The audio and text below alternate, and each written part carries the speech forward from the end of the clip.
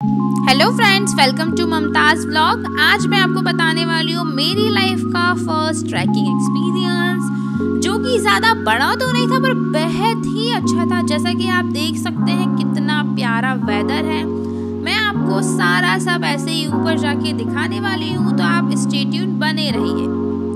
दोस्तों, मैं यहाँ बात कर रही हूँ मनुआ भान की टेकरी, जिसको हनुमान टेकरी भी कहा जाता है। यह भोपाल की बहुत ही फ़ेमस जगह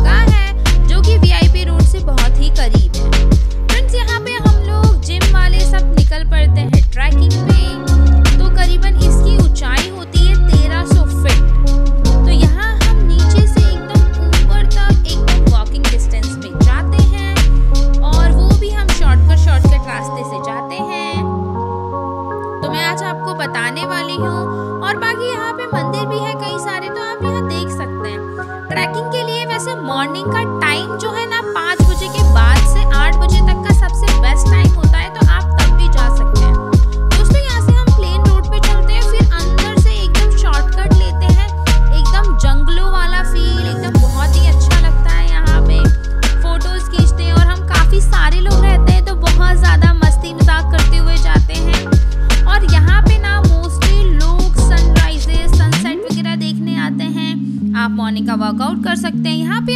फ़ोटोज़ भी बहुत अच्छी आएँगे। और मैं यहाँ पे आपको ट्रैकिंग का बता रही हूँ अदरवाइज़ आप अपनी फैमिली के साथ दिन में भी आ सकते हैं। तो यहाँ पे आपको लिफ्ट वगैरह सब रहती है, आपको पचास रुपये आना जाना दोनों का चार्जेस रहता है।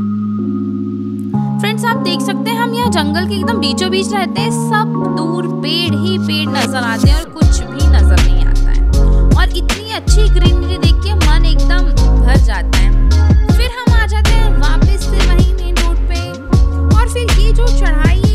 खड़ी चढ़ाई है।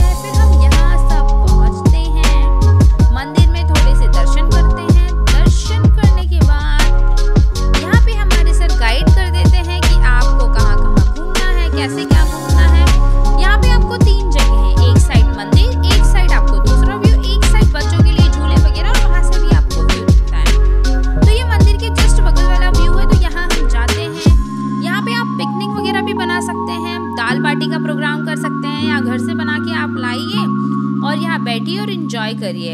आप देख सकते हैं मॉर्निंग में सनराइजेस कितना अच्छा दिखता है यहाँ पे और सनसेट भी बहुत अच्छा दिखता है। और आप देख सकते हैं कि वीडियो में मैंने जितना कैप्चर करा है, आप देख सकते हैं जितना हो सका है मैंने उतना कैप्चर करा है यहाँ पे। और करीबन यहाँ पे आपको ऊपर पहुँचते ही आपको यहाँ पे पूरे भोपाल का व्यू नज़र आएगा। यहाँ पे जाके आप मेडिटेशन करिए। मेडिटेशन करने के बाद एकदम ठंडी ठंडी हवाएँ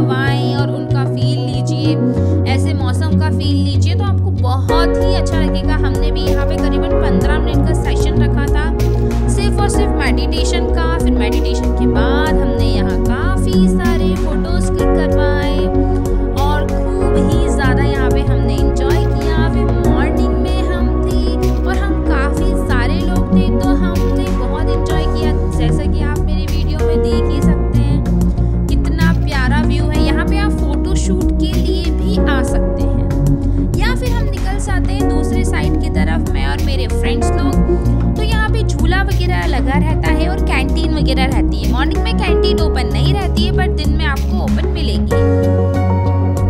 तो यहाँ पे आप झूला वगैरह झूल सकते हैं, बैठ सकते हैं, थोड़ा सा टाइम स्पेंड कर सकते हैं।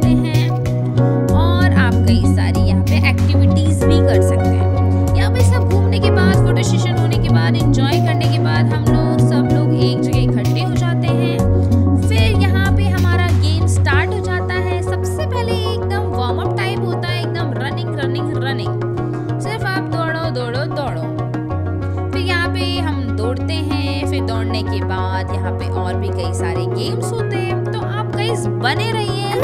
बाकी के गेम्स देखने के लिए फिर से यहाँ पे रनिंग होता है पर ये दूसरी वाली रनिंग होती है। कौन सी टीम एक मिनट तक रनिंग कंटिन्यू करती है? मैं तो यहाँ पहले ही थक गई थी और रुक गई थी। फिर यहाँ पे टीम डिवाइड होती है। टीम डिवाइड होने के बाद यहाँ पे ये कोन रहता है। इस कोन को एकदम लेग के नीचे से आपको पास करना होता है। जो फ्रंट वाला व्यक्ति है वो वापस से ही फ्रंट पे आना चाहिए और जो